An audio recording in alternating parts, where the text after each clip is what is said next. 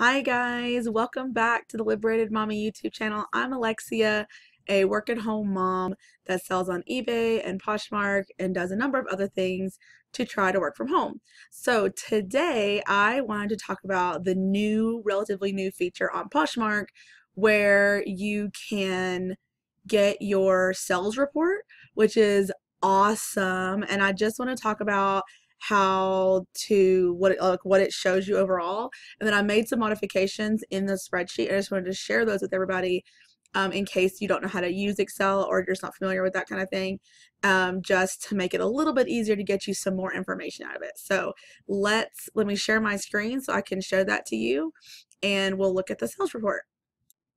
Alright guys so here we are in our sales report um, you can get the sales report by going through your seller tools through the Poshmark app. I can't find a way to get it online. Doesn't mean it's not there. I just haven't found it in the few minutes that I looked for it. So once you report, once you request your seller uh, report, your sales report, you can request it based on a month or the whole year. Here's the one I did for all of 2018 so far.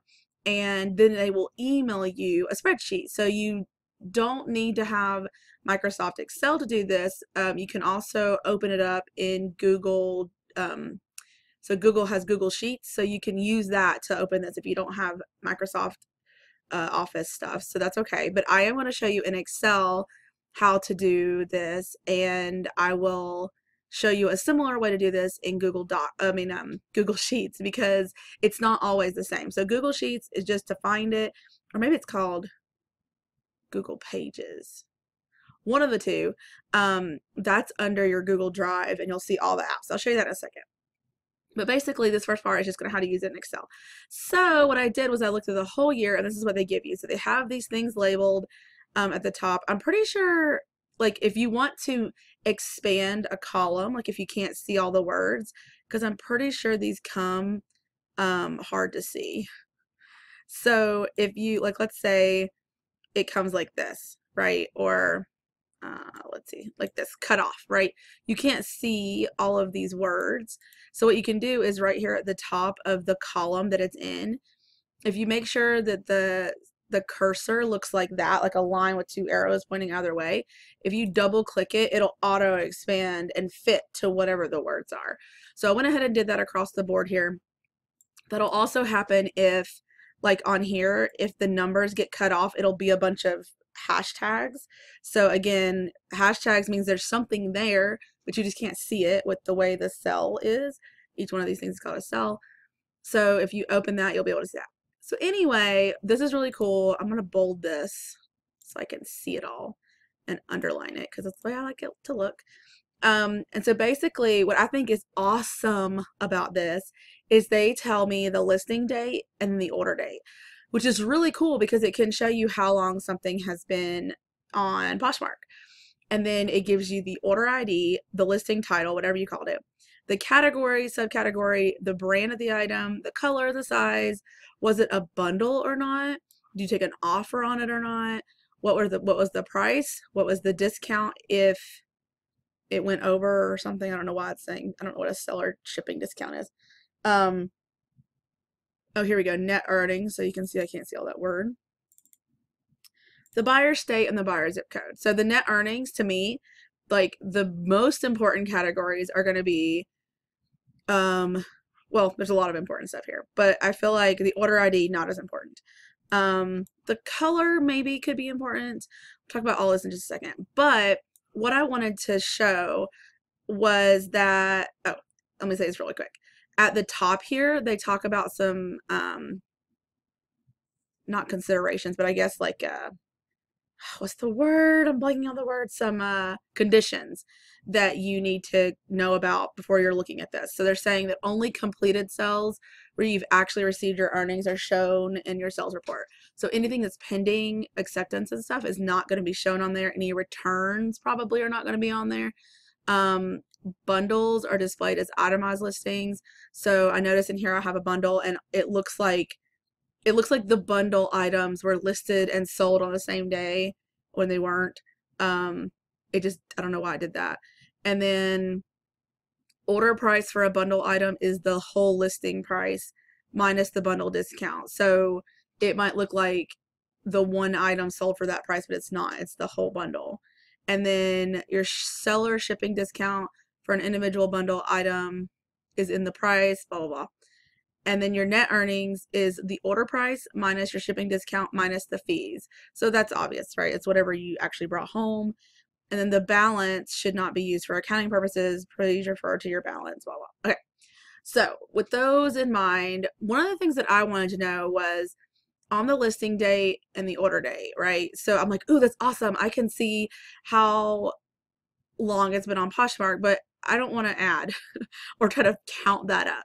So I'm interested in actual days. I mean, you could say, okay, it was approximately two months. It was approximately whatever. But I'd like to know how many days specifically. So this is the part of the video where I'm trying to show you something that's new. Okay, so what we're going to do is we're going to add a column. So on the C here, we're going to right click and we're going to say insert and it's going to add a column to the left of that.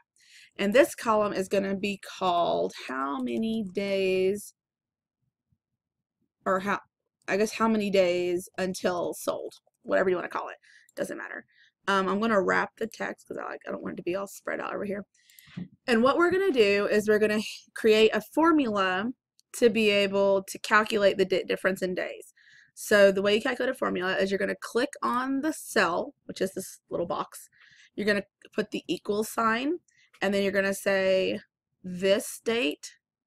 So you're going to click that, and it's important not to type in the date. You actually need to click this other cell over here, minus sign, and then the order date cell. Okay? Now, it's going to give me something crazy. So what you have to do here to make sure that it doesn't show up as some weird day which it will, what you want to do is you want to come up here to the middle, top middle, and you want to click the date button and say general. And it will give you a number. So that is showing me that it was on there for 59 days. And so what you can do is actually, instead of typing that in for every single one of them, and the bottom right here, there's this little square, and you can make sure, now make sure, make, okay, so Excel uses all these little cursor changes to do things. So the cursor, it's very important that it doesn't look this. It doesn't look this, but it looks like this. So just a solid um, crosshairs. And so you want to put it on the bottom and that little thing, and then you want to hold your mouse down and drag that all the way to the bottom of your cells, okay? And what that's going to do is it's going to take that formula and it's going to apply it to everything. So if we click here, or like here, or whatever, it's going to be doing this for every single one of them, okay? This one was sat there forever, but I have a reason for that. Okay. So now that gives us a lot of good information. So I'm going to highlight that just because that is our new information here. I don't want to be pink. Let's do blue. Okay, so how many days until until the item sold? So, you know, you can go through here and look at this. Like this is the one I was talking about with the bundle. Like that wasn't on there for like a day. It took a while to sell. So have to figure that out. But basically you can see all your different items. And so this is really important because as a seller, you can look at your stuff and be like, oh, that was on there for one day. And I remember that. That was on there for one day. So it was on there for one day and it sold, let's see what it sold for. $50. Not bad, right? So I might make a mental note that I need to buy that brand. Of course, it's St. John. So yeah. But it's like, or, you know, three days. Or maybe you want to ask yourself, what can I buy that is going to sell within a week or whatever. Now, obviously, this has to do with quality of the item, um, potentially size. So that's where the size factor over here in this other column comes into play. Maybe it's a certain size of the item that actually matters most. And obviously season. So just because I sold a sweater in a day in December doesn't mean I'm going to sell that same sweater in June um, that fast. So all those things to keep in mind. So you can kind of go down through here and look at all that. So another piece of information you might be interested in knowing is what's the average amount of time for an item to sell. And so we're going to create that here. Now for me, my average sell time is going to be really skewed because I have some of these items like this one that was on there for a year. Um, and a lot of them, a couple of these were on there for a long time. And that's because I started Poshmark last June like 2017 and then I just kind of forgot about Poshmark and then picked it back up again this March. And so those items had not sold, obviously. I hadn't been sharing anything, I hadn't been following anybody, I hadn't been listing anything, so they were just sitting there. So they finally, finally sold. So that's going to be skewed a little bit, but nonetheless, we can create this in our thing now. So what we're going to do is we're going to click below this column that we want to edit or want to calculate. And we're going to say, let's label it actually. Go to the one beside of it. And we're going to say the average day, we'll say average days from listed to sold. You can call it whatever you want. Um, that's what makes sense to me.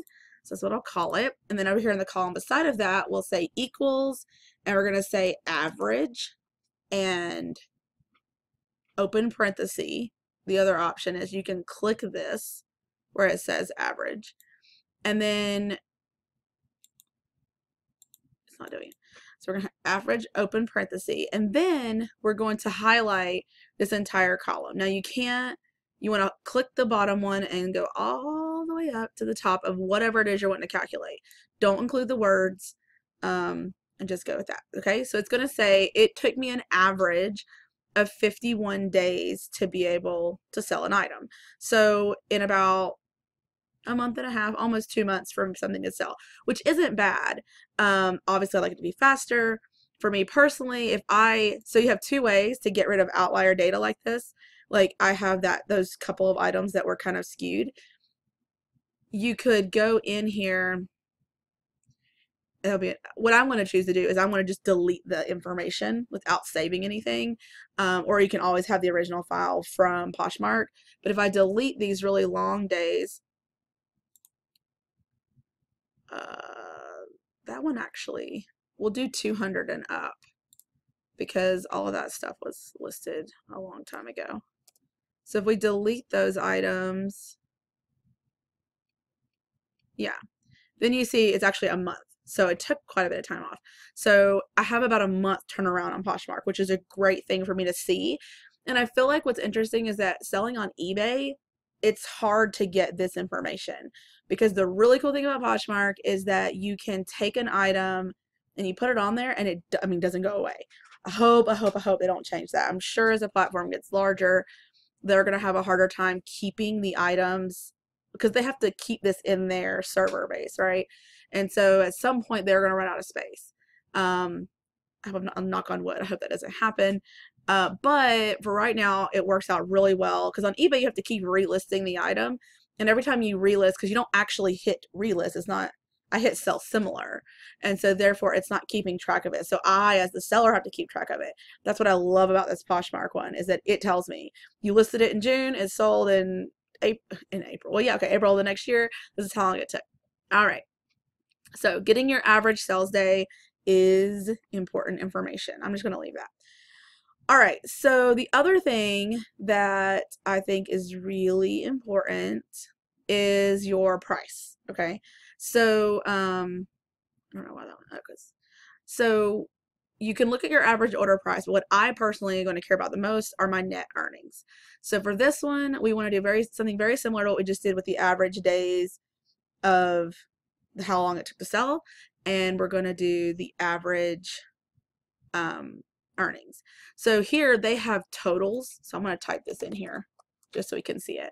These are your totals. So this is like the total amount that I sold on Poshmark and the total amount that I got in net earnings. That seems that seems low. Not low, but like I mean, because I've I've been doing Poshmark actively since I think it was like mid March. You can kind of see when I picked stuff up and started listing a lot more. Yeah, like mid March. So um, I feel like the order price means like what they paid for it and the earnings is what I got for it minus all the stuff. But it just seems odd to go from 900 to 700. I guess 200. Um, I can't do math right now. Yeah, I guess that's right. About 20%. Hmm, okay. Um, oh, duh. 20. Yeah. Okay. Anyway. Okay. So that's right. Sorry. Okay. So what we have here are the net earnings. I'm going to see if I can freeze this. Freeze. it won't let me. Okay, so the O column. Okay, net earnings. So you can go down through there and you can add it all up, or you can, we want to do an average, right? So I want to see how, basically my average sale price. So again, doing equals average and then highlighting all of the cells that you want to involve in this information. So that tells me that I have an average sell or average earnings of $15.91 per item, which, you know, that's up totally up to you. Like whatever your business model is, whatever works for you, that works for me. Um, I would like to get at least $10 an item.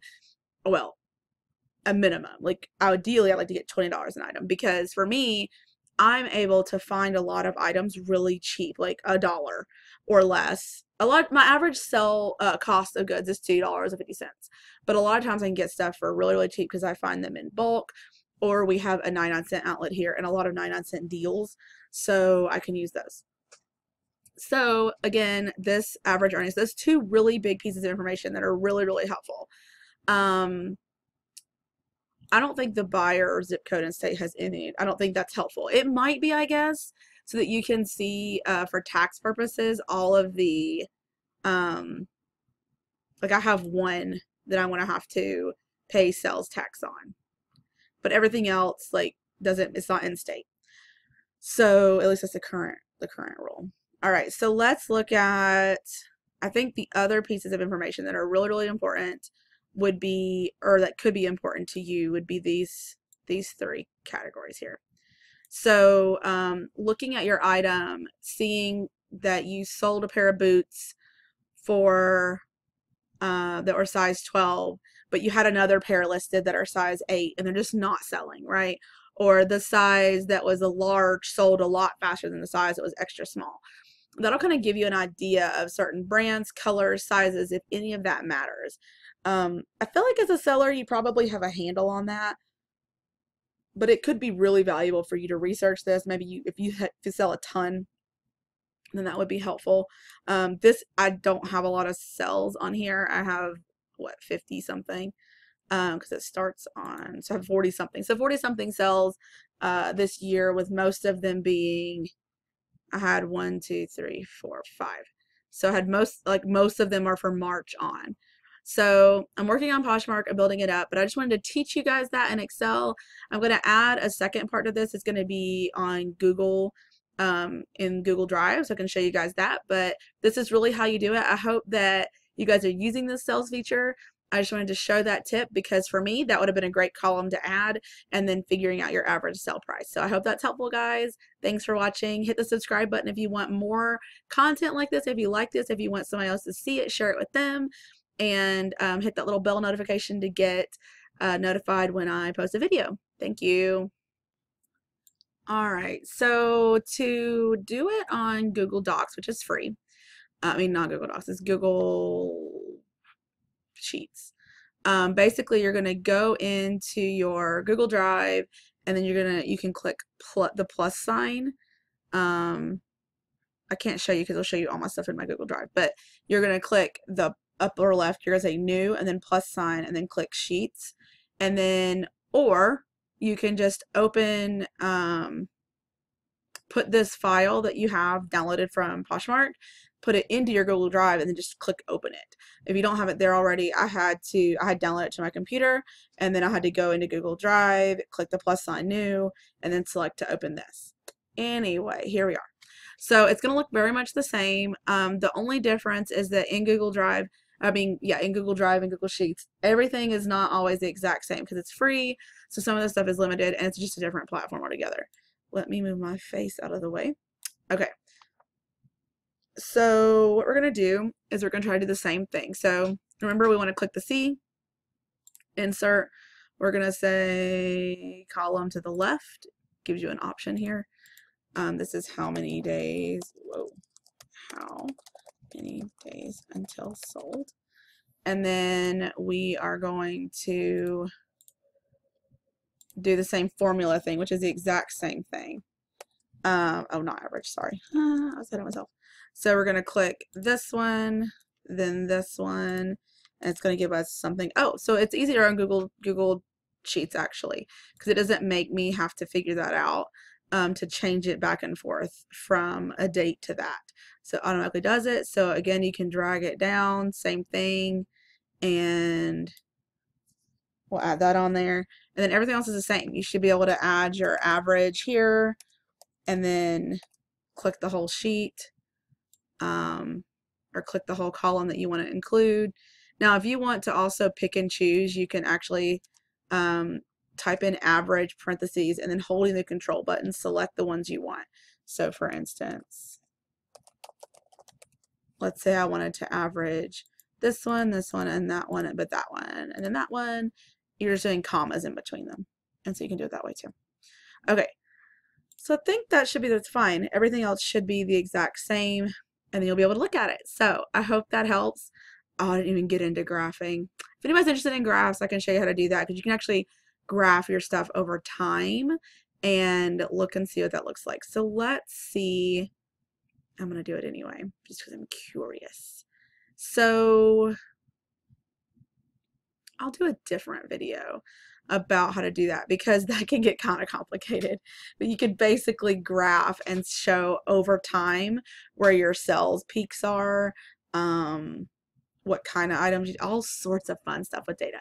I'll spare you guys. So I hope that helps. So Google Google Drive and then Google Sheets, open it up. You should be able to do it for free. And that way you can look at your cells, get some knowledge about what your cells are doing, what items you should be focusing on, etc. Anything that will help you improve your business. That's what I like to share. Hope this was helpful, guys. And thank you for watching and have a great day.